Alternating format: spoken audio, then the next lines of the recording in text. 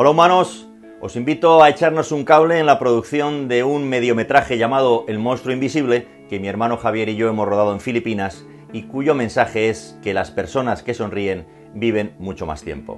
Esta cometa que tengo aquí me la regaló el protagonista de la película, Menudín, un niño de 8 años que todos los días tiene que hurgar en la basura para poder conseguir unos céntimos que llevar a casa y es el símbolo de que con muy poquito, con los plásticos, con las gomas del pelo, con los palitos que aparecen en ese camión de la basura que llega todos los días como si fuera el Amazon de ese poblado de Filipinas, donde está lo que comen, donde está lo que visten, donde están los materiales con los que construyen sus viviendas, con muy poquito se puede hacer algo que sube muy alto, muy alto, muy alto, y es con lo que nos quedamos de esta película, con las sonrisas de los niños que vuelan las cometas en ese basurero de Papandayán.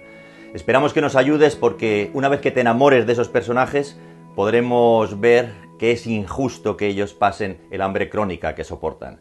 Y si poquito a poco creamos conciencias y todos sabemos que con muy poquito se puede hacer mucho y elevar muy alta esta cometa, entonces además de una película que espero sea preciosa, habremos conseguido crear conciencia para terminar con algo con lo que se termina con acciones muy sencillas, como proporcionar una ducha, como darle acceso a la educación a un niño o a una niña. Espero que nos apoyes, estamos en Berkami. Con solo 10 euros ya apareces en los títulos de crédito. Y si quieres darnos más, bienvenido seas. Y de paso compartimos Filipinas, un país en el que hemos estado 250 años y nadie nos ha contado nada de él. Un país maravilloso. Nos vemos en Berkami.